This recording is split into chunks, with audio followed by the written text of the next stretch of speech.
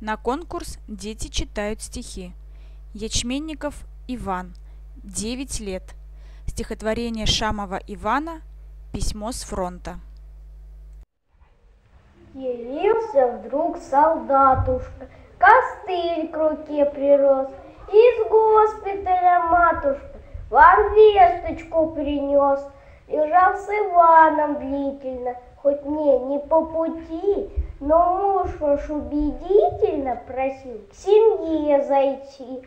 Был ранен на Смоленщине, но ожил вдруг солдат, Светлеет лик у женщины, огонь в глазах ребят.